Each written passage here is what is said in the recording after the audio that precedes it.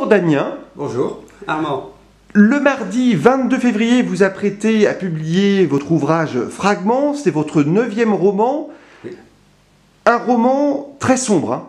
Un suspense dramatique avec euh, une trame roman noir, avec un couple, un jeune couple qui vient de se marier, qui a l'avenir devant lui et à la fin de leur cérémonie de mariage, euh, malheureusement, le mari va provoquer un accident mortel et que va-t-il se passer Ils vont devoir vivre avec cette culpabilité et le lecteur va passer, devrait, je l'espère, passer par toutes les émotions aux côtés de la jeune mariée, Alice Bellamy, pour savoir comment ils vont sortir de ce secret qui va les ronger complètement.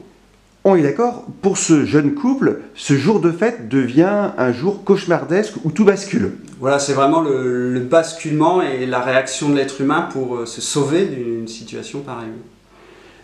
C'est votre neuvième roman, hein Neuvième roman en 10 ans, en, en naviguant entre le thriller, le suspense, le roman noir. Dites-moi, vous êtes un auteur très prolifique.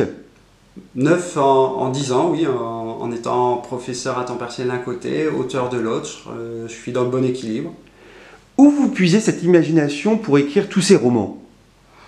Je puise dans tout ce que je vis, dans tout ce que je vois, dans l'actualité, et en étant professeur, euh, j'ai une fenêtre sur euh, les familles françaises, et malheureusement, euh, on voit du poste de professeur beaucoup de drames, et donc ça, ça nourrit forcément mon imaginaire, petit, pièce par petite pièce.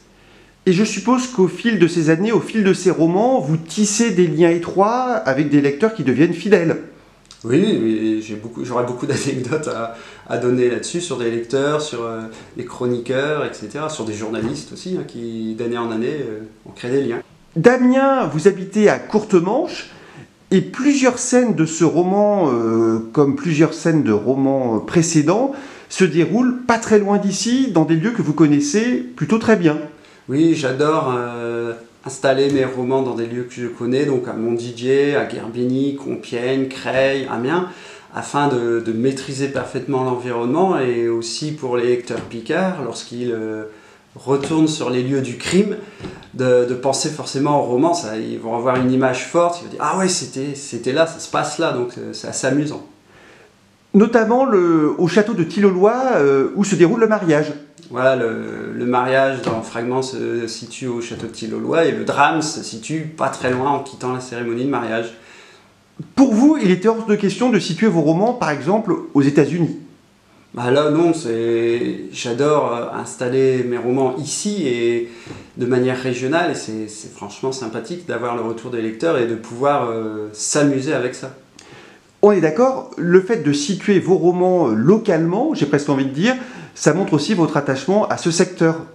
Oui, ça fait 15 ans que j'habite, euh, j'habite dans les alentours de, de Montdidier, ça fait presque 20 ans que j'habite en Picardie, je, je suis du Nord, donc j'étais un voisin à l'origine, donc euh, oui, c'est important pour moi, je pense. Merci beaucoup Merci à vous.